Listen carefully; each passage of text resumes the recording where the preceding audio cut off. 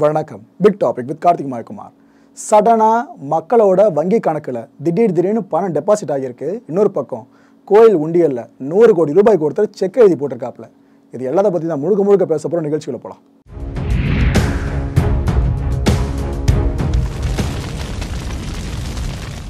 நம்ம ஊரில் பொதுவாக சொல்லுவாங்களே அதிர்ஷ்டம் கூரையை பிச்சுன்னு கொட்டணும்ப்பா அதிர்ஷ்டம் வீட்டு கதவை தட்டணும்ப்பா பணம் கொட்டோ கொட்டுன்னு கொட்டணும்ப்பா. எதிர்பார்க்காத பணமாக வரணும்ப்பா. அது இதுன்னு பல விஷயங்கள் பணம் சார்ந்து மட்டும் பேசிக்கிட்டு இருப்போம். இது போல் ஒன்று நம்ம பக்கத்து மாநிலங்களில் நடந்திருக்கு. ஒரு மாநிலம் இல்லைங்க ரெண்டு மாநிலங்களில் நடந்திருக்கு. இதுக்கு முன்னாடி ஒரு மாநிலமாக இருந்தது தான் அதுக்கப்புறம் அரசியல்காரங்களை ரெண்டாக பிரிக்கப்படுச்சு வேறு எதுவும் இல்லை. ஒன்று தெலுங்கானா ஒன்று ஆந்திரா. இதை பற்றி தான் சொல்கிறேன் அங்கே இருக்க மக்களோட பேங்க் அக்கௌண்ட்ஸ் இருக்குல்ல அதில் பட்டு பட்டுன்னு பைசா வந்து விழுந்திருக்கு.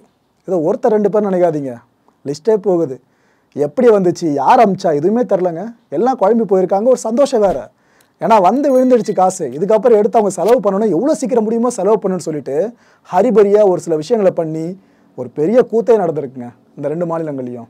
என்ன இருக்குன்னா இந்த தெலுங்கானா மாநிலம் முழுகு மாவட்டத்தில் இருக்க ஏட்டூர் அப்படின்ற நகர்ப்பகுதி இங்கே இருக்க பொதுமக்கள் அதில் சிலருக்கு நம்பர்ஸில் சொல்கிறதா இருந்தால் ஐம்பது பேர்கிட்ட ஓகேவா அப்ராக்ஸாக ஐம்பது பேர்கிட்ட. இவங்களோட பேங்க் அக்கௌண்ட்ஸ் இருக்குது பார்த்தீங்களா இதில் திடீர்னு வந்து கேஷ் விழுந்திருக்கு. டெபாசிட் ஆகிருக்கு உள்ள. இவங்க அந்த பணத்தை போடலை அவங்களோட அக்கௌண்ட்டில் இவங்களுக்கு தெரிஞ்சவங்க யாரும் போடலை ஃப்ரெண்ட்ஸ் யாரும் போடலை குடும்பத்தினர் யாருமே போடலை. ஆனால் அவங்களுக்கு அந்த பணம் வந்து விழுந்திருக்கு. சரி ஏற்கனவே வர வேண்டிய காசு கடங்கார எதனா கொடுக்க வேண்டிய காசுன்னு நினச்சி பார்த்தா அதுவும் கிடையாது. அத்தனை பேர் அக்கௌண்ட்டில் திடீர்னு பணம் டெபாசிட் ஆகியிருக்கு. பத்தாயிரம் ரூபாயில் ஆரம்பிச்சிருக்குங்க. ஒரு சிலர் கணக்கில் பார்த்தீங்கன்னா பத்தாயிரம் ரூபாய் விழுந்திருக்கு. ஒரு சிலர் கணக்குகளில் இருபதாயிரம் ரூபாய் அப்படி இருபத்தஞ்சாயிரம் நாற்பதாயிரம் ஐம்பதாயிரம்னு ஒரு லட்சம் ரூபாய் வரைக்கும் சில பேரோட அக்கௌண்ட்ஸில் டெபாசிட் ஆகிருக்கு யோசிச்சு பாருங்களா இது போல் நடக்குமான்னு சொல்லிட்டு சேலரியை தப்பாக போடுறாங்க ஒரு கம்பெனியில் அப்படின்னா கூட ஒன்று ரெண்டு பேருக்கு மாறலாம். ஆனால் சாமானிய மக்கள் இந்த அக்கௌண்ட்டில் பைசா வந்துச்சு பார்த்தீங்கன்னா எல்லாம் சாமானிய மக்கள். பத்தாயிரம் ரூபாயில் ஆரம்பித்து ஒரு லட்சம் ரூபாய் வரைக்கும் இத்தனை அக்கௌண்ட்ஸில் விழுதுன்னா இதை நம்ம எப்படி புரிஞ்சுப்போம்? அங்கே இருக்க மக்களுக்கு தலகால் புரியலங்க. யார் ஆரம்பிச்சா எந்த புண்ணியவான்னு எல்லாருமே அந்த பணத்தை என்ன செய்யறதுன்னு சார்ந்து அடுத்தடுத்த வேலைகள் ஆரம்பித்து போயிட்டாங்க. முதல்ல ஒரு தகவல் என்ன கசிஞ்சு இருந்துச்சுன்னா இந்த எஸ்பிஐ பேங்க் இருக்குல்ல அதோட கஸ்டமர்ஸ்க்கு மட்டும்தான் இந்த தெலுங்கானா அந்த பகுதி இருக்காங்களே அங்கே இருக்க அந்த கஸ்டமர்ஸ்க்கு மட்டும்தான் இது போல் பணம் திடீர்னு டெபாசிட் ஆகுது. யாரோ அனுப்புகிறாங்க போல இருக்குது யாருன்னு தெரியல கஷ்டப்படுற மக்களுக்காக அனுப்புகிறாங்க போல இருக்குது ஆனால் எஸ்பிஐ கஸ்டமர்ஸ்க்கு மட்டும் தானே முதற்கட்ட தகவல் வெளியாச்சு. இது எந்தளவு உண்மையாக இருக்கும்னு அப்படி நூல் பிடிச்சி போனால் தான் தெரியுது. எஸ்பிஐ பேங்க் கஸ்டமர்ஸ் மட்டும் கிடையாது. எல்லா பேங்க் கஸ்டமர்ஸ்க்கும் இது போல் பணம் போய் டெபாசிட் ஆகிட்டு இருந்திருக்கு. ஆனால் ஒருத்தர் கூட தெரியல எதுக்காக இந்த பணம் வந்திருக்குன்னு சொல்லிட்டு. ஆனால் அவங்களுக்கு ஒரு பேனிக் மட்டும் உள்ளே வந்துருச்சு. ஒரு பயம் இன்னொரு பக்கம் சந்தோஷம். எப்படியோ காசு வந்துருச்சு ஆனால் எப்படி வந்துச்சு தெரில இப்படி தான் எஸ்பிஐ கஸ்டமர்ஸாக இருக்கட்டும் மற்ற வங்கிகளோட கஸ்டமர்ஸாக இருக்கட்டும் இப்படி அவங்களோட அக்கௌண்ட்டில் டெபாசிட் ஆச்சு பார்த்தீங்கன்னா பணம். இதை நினச்சி அந்த சந்தோஷப்பட ஆரம்பிச்சாங்க. இல்லை ஹைலைட்டே இந்த இடம் தாங்க. இப்போ நம்மளோட பேங்க் அக்கௌண்ட்டுக்கு ஒரு பைசா உள்ளே வந்துருச்சு அப்படின்னா நம்மளுக்கு மெசேஜ் வரும் நம்மளோட ஃபோனுக்கு அந்த வங்கி கணக்கோட எந்த செல் நம்பரை நம்ம இணைச்சி வச்சிருக்கோமோ அந்த நம்பருக்கு ஒரு மெசேஜ் வரும். இது போல் மெசேஜ் அங்கங்கே கேட்க ஆரம்பிச்சிடுச்சு. இப்போ இங்கே ஒரு வீட்டில் இருக்காருன்னா அவரோட அக்கம் பக்கத்து வீடுகளாக இருப்பாங்க பாருங்க. அவங்களுக்குள்ள மாறி மாறி பேச ஆரம்பிச்சிட்டாங்க. எனக்கு மெசேஜ் வந்துருச்சு. உனக்கு வந்துருச்சா? யாரோ எங்க காசு போடுறாங்க அது இதுன்னு. எல்லாரும் இந்த மெசேஜை மேற்கொள்ளிட்டு பேச ஆரம்பிச்சிட்டாங்க. இதெல்லாம் ஒரு பக்கம் போயிட்டு இருக்கு இன்னொரு பக்கம் என்ன நடக்குது? போட்ட காசு திரும்ப எடுத்துகிற போகிறாங்களோ அப்படின்ற பயத்தில் இந்த டெபாசிட் ஆச்சு பார்த்தீங்களா அந்த மக்களோட அக்கௌண்ட்ஸில் அந்த பேங்க் அக்கௌண்ட் சார்ந்த அந்த கஸ்டமர்ஸ்லாம் ஒரு சில வேலைகளை பார்க்க ஆரம்பித்தாங்க முதல் வேலை என்ன பண்ணாங்கன்னா குட்டு குட்டு குட்டுன்னு ஏடிஎம் கார்டு எடுத்துக்கிட்டு ஏடிஎம் சென்டருக்கு ஓடுறாங்க. அங்கே போயிட்டு பணத்தை மேலே விட்ரா பண்ணுறதுல குறியாக இருந்திருக்காங்க. லிமிட்டேஷன் ஒன்று இருக்கும் பாருங்க. அது முடிஞ்சிடக்கூடாதுன்னு வேண்டிக்கிட்டு ஒரு சில பேர் இந்த வேலையை பார்த்துருக்காங்க. முத வேலை. ரெண்டாவது மக்கள் செஞ்ச வேலை என்னென்னு பார்த்தீங்கன்னா அவங்களோட உறவினர்கள் இருப்பாங்களே அவங்களோட பேங்க் அக்கௌண்ட்டுக்கு இந்த அவங்களோட டெபாசிட் ஆன அமௌண்ட் இருக்குது பாருங்கள் அதை அப்படியே செக்ரிகேட் பண்ணி கொடுக்கறது. அதில் ஒரு சில நபர்கள் என்ன பண்ணியிருந்தாங்க? பொன்னாட்டி பேரில் இருக்க பேங்க் அக்கௌண்ட் இருக்கும் பார்த்தீங்களா அங்கே பணத்தை மாற்றி விட்டுறது பசங்க பேரில் இருக்க பேங்க் அக்கௌண்ட் பணத்தை மாற்றி விட்டுறதுன்னு இது போலாம் பண்ணாங்க. ஏன்னா தடமே தெரியாதுல இதுக்கப்புறம் அந்த அக்கௌண்ட்டில் காசு வந்தது தெரியும். ஃபோன் பண்ணி யாருன்னா கேட்டாங்கன்னா செலவு பண்ணுறது சிம்பிளாக சொல்லிட்டு போயிடுவாங்களே ஸோ இதனால இந்த மாதிரி வேலையை பார்த்து வச்சுருந்தாங்க. மூணாவது தரப்பாக என்ன செஞ்சுருந்தாங்க பார்த்தீங்கன்னா பேங்க்குக்கு நேரில் போயிட்டுருக்காங்க இது போல் பக்கத்து வீட்டில் பத்தாயிரம் வந்திருக்கு. ஆனால் எனக்கு என்ன இருபதாயிரம் வந்திருக்கு? சரி பாருங்கன்னு இது போல் கேட்க ஆரம்பிச்சிட்ருக்காங்க இது போல் மூணு வேலையவும் ஃபுல்லாக தொடர்ந்து செஞ்சுக்கிட்டு இருக்காங்க. இந்த செய்தி தீயாக பரவ ஆரம்பிச்சிடுச்சிங்க இந்த தெலுங்கானா பகுதியில். அங்கே இங்கேன்னு மக்கள் எல்லாருமே அவன் வீட்டில் வந்துருச்சு காசு ஆனால் எனக்கு வரல என் பேங்க் அக்கௌண்ட் எப்போ வரும் அது இதுன்னு நல்லா தலையை பிச்சுக்க ஆரம்பிச்சிட்டாங்க. சில மக்கள் புலமும் செஞ்சுருக்காங்க. இதுக்கப்புறம் இந்த எஸ்எம்எஸ் வராத மக்கள்லாம் இருக்காங்களே அதாவது உங்கள் அக்கௌண்ட்டில் டெபாசிட் ஆகிடுச்சு அப்படின்ற மெசேஜ் வராத மக்கள் இருக்காங்களே அவங்க செல்ஃபோனை கையில் எடுத்துக்கிட்டு பேங்க்குக்கு போயிட்டுருக்காங்க அங்கங்கே வந்திருக்குங்க பக்கத்துலாம் வந்திருக்குங்க ஆனால் எங்களுக்கு எதுவுமே வரலங்க. நீங்கள் பணம் போட்டு மெசேஜ் அனுப்பாமல் விட்டீங்களா? நாங்கள் செக் பண்ணுறப்போ எதுவும் காசு காட்ட மாட்டுது அது இதுன்னு அந்த வங்கி ஊழியர்களை ஒரு வழி ஆக்கிட்டு இருக்காங்க. இவ்வளோ பேர் ஒரே நேரத்தில் திரண்டு. காசு வந்துருச்சு காசு வந்துருச்சு ஆனால் அவங்களுக்கு வரல இவங்களுக்கு வரலன்னு பேசும்போது இதை கேட்குற வங்கி ஊழியர்கள் எப்படி இருக்கிற மனநிலை? யோசிச்சு பார்க்க முடியுதா? அவங்களுக்கு ஒன்றுமே புரியல. யார் காசு போட்டால் எப்படி இவங்களுக்கு காசு வந்துச்சு எதுக்கு இவங்க கேட்குறான்னு ஒன்றுமே புரியாமல் விழிப்புதுங்க நின்றுக்கிட்டு இருந்திருக்காங்க. கரெக்டாக அதே நேரத்தில் என்ன ஆகுது? இந்த ஆந்திர மாநிலம் இருக்குல்ல அங்கே இருக்க திருப்பதி உட்பட சில மாவட்டங்களில் இருக்க மக்களுக்கும் இது போல் காசு வந்திருக்கு. இதே போல் டெபாசிட்டில் யார் என்னென்னு தெரியாமல் போட்டு விட்டு போயிட்டு இருக்காங்க தலையே வலிகிற மாதிரி இருக்கலாம். நம்மளுக்கு இந்த கதையை கேட்க கேட்க கேட்குற நமக்கே எப்படி? அங்கே ரெண்டு மாநிலங்களும் நடந்திருக்கு. அப்போ எப்படி இருந்திருக்கும் பாருங்க அந்த மக்களுக்கு. இந்த தெலுங்கானா அண்ட் ஆந்திரா இந்த ரெண்டு மாநிலங்களையும் இது போல் பேங்க் டெபாசிட் தொடர்ந்து நடந்துச்சு பார்த்தீங்களா சடனாக இதை சார்ந்த தகவல் போலீஸுக்கு தெரிவிக்கப்படுது. அவங்க சீனுக்குள்ளே என்ட்ரி ஆகுறாங்க. இந்த டெபாசிட் பண்ணப்பட்ட பேங்க் அக்கௌண்ட்ஸ்லாம் இருக்குல்ல அதை ஃபுல்லாக வங்கி ஊழியர்கள் உதவியோடு சேகரிக்க ஆரம்பிக்கிறாங்க. எல்லாம் சேகரித்து பார்த்ததுக்கப்புறம் தான் உண்மையை கண்டுபிடிச்சாங்க.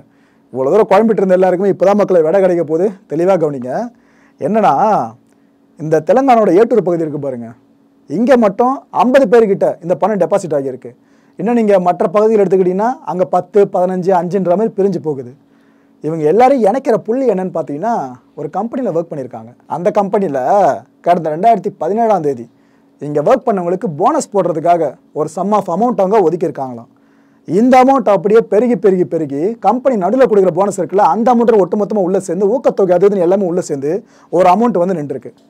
இது எல்லாமே ரெண்டாயிரத்தி பதினேழில் ஓகேவா அப்பயே அவங்க ரிலீஸ் பண்ணி விட்டுருக்க வேண்டிய அமௌண்ட்டு ஆனால் அவங்க வெயிட் பண்ணி வெயிட் பண்ணி வச்சதுனால நிலுவையில் இருந்ததுனாலேயே உள்ளே கொஞ்சம் கொஞ்சமாக சேர்ந்து இப்போ ரெண்டாயிரத்தி இருபத்தி மூணில் இப்போ திடீர்னு அந்த எம்ப்ளாயிஸாக இருந்தாங்க பாருங்க அந்த கம்பெனியில் ஒர்க் பண்ணிக்கிட்டு அவங்களோட பேங்க் அக்கௌண்ட்ஸ்லாம் வந்து விழுந்துட்டு இருக்கு. அந்த மக்கள்லாம் நினச்சிருந்தது கம்பெனி நம்மளுக்கு எதுவுமே செய்யலையே சம்பளம் தானே அப்படி தான் நினச்சிட்டு இருந்திருக்காங்க.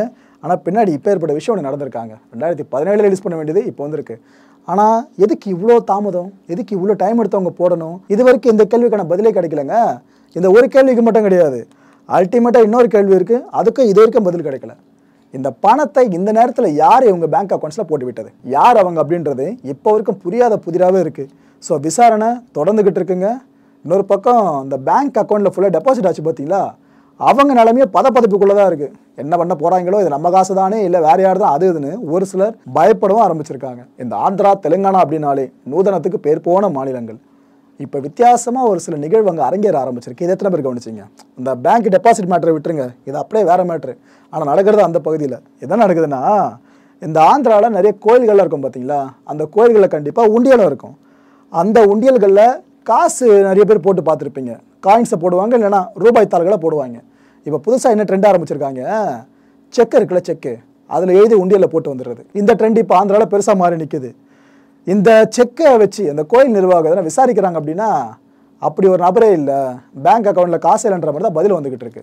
ஏப்பா இதெல்லாம் நடக்குதான்னு அப்படின்னு கேட்டிங்கன்னா ஆதாரத்தோட ஒரு விஷயத்த சொல்கிறேன் என்ன இருக்கு? இந்த விசாகப்பட்டினம் இருக்குல்ல அங்கே வராகலட்சுமி நரசிம்ம கோயில் ஒன்று இருக்குங்க. அந்த கோயிலையும் மற்ற கோயில்களில் இருக்க மாதிரி உண்டியல் இருந்திருக்கு. நூறு கோடி ரூபாய்க்கு ஒரு செக்கு. நம்ப முடியுதா? நூறு கோடி ரூபாய்க்கு ஒரு செக்கு எழுதப்பட்டிருக்கு.